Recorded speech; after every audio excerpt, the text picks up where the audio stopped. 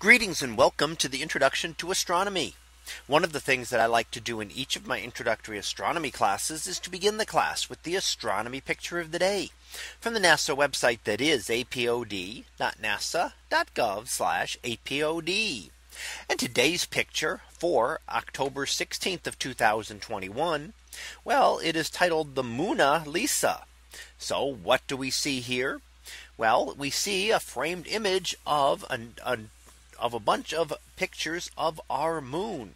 And you'll note that they're all different colors. And these are actually natural colors of the moon. So these are the way the moon can actually appear in the sky from Earth.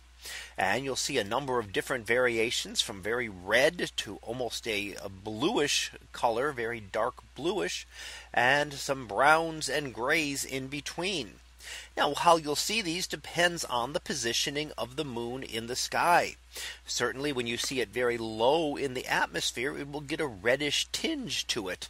And if you look at it when you're seeing the moon being reflected uh, through reflected earth light, what we call earth shine, then you'll see a lot of the darker images are actually caused by that. So you're not actually seeing the moon being directly illuminated by the sun, which is how it normally shines but sunlight reflecting off Earth to the moon and then back to Earth again.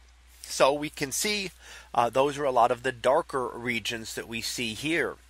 And while the pattern may seem somewhat random on this, it actually is not. And if you work your way towards the smaller and smaller images, you might be able to see uh, one of Leonardo da Vinci's most famous works.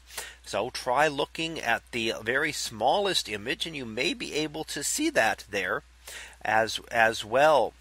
Now again, we look at all the different colors. We notice that the pattern we see on the moon is always the same.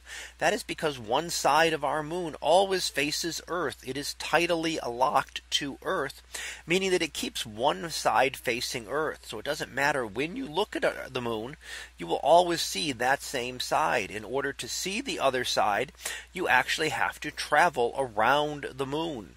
And only a handful of humans have ever seen that live. And that's those who traveled in the Apollo missions back in the 1960s and 1970s and actually did travel around the moon and were able to see what we call the far side of the moon and we that would be the uh, furthest area the backside that we never get to see from Earth.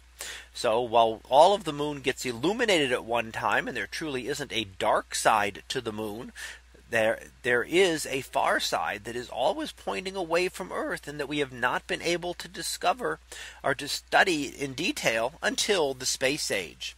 So that was our picture of the day for October 16th of 2021. It was titled the Moona Lisa We'll be back again tomorrow for the next picture previewed to be looking through gravity's lens. So we'll see what that is about tomorrow. And until then, have a great day, everyone. And I will see you in class.